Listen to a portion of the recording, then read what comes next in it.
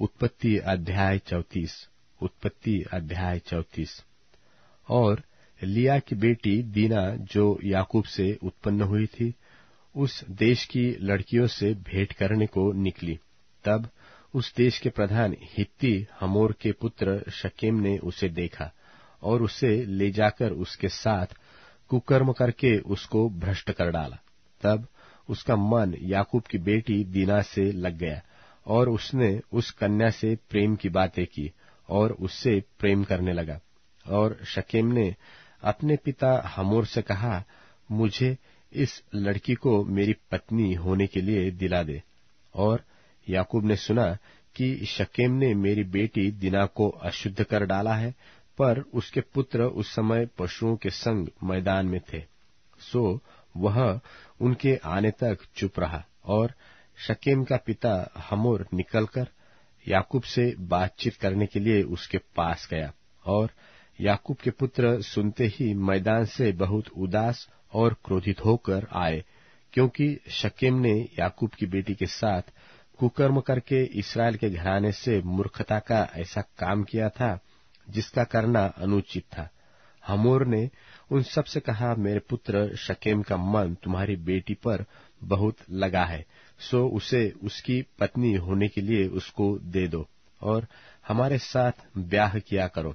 अपनी बेटियाँ हमको दिया करो और हमारी बेटियों को आप लिया करो और हमारे संग बसे रहो और यह देश तुम्हारे सामने पड़ा है।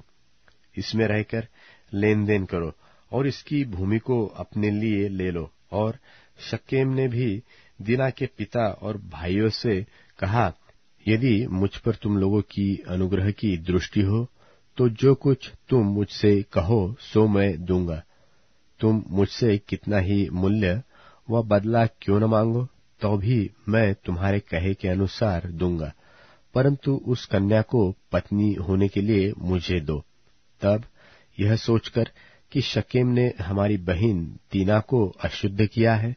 याकूब के पुत्रों ने शकेम और उसके पिता हमोर को छल के साथ यह उत्तर दिया कि हम ऐसा काम नहीं कर सकते कि किसी खतना रहित पुरुष को अपनी बहन दे, क्योंकि इससे हमारी नाम धराई होगी। इस बात पर तो हम तुम्हारी मान लेंगे कि हमारी नाय तुम में से हर एक पुरुष का खतना किया जाए। तब हम अपनी बेटियाँ तुम्हें ब्याह देंगे और तुम्हारी बेटियाँ ब्याह लेंगे और तुम्हारे संग बसे भी रहेंगे और हम दोनों एक ही समुदाय के मनुष्य हो जाएँगे। पर यदि तुम हमारी बात न मानकर अपना खतना न कराओगे तो हम अपनी लड़की को लेके यहाँ से चले जाएँगे। उनकी इस बात पर हमोर और उसका पुत्र शकेम प्रसन्न हुए और वह जवान जो याकूब की बेटी को बहुत चाहता था, इस काम को करने में उसने विलंब न किया।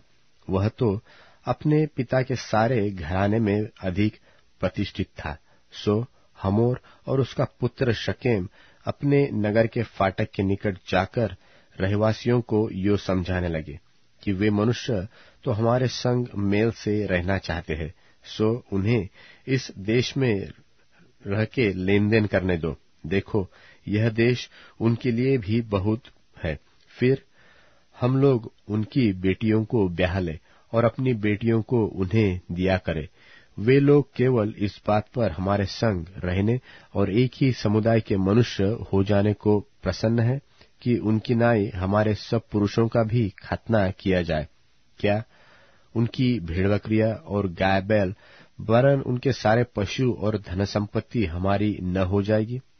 इतना ही करे कि हम लोग उनकी बात मान ले तो वे हमारे संग रहेंगे।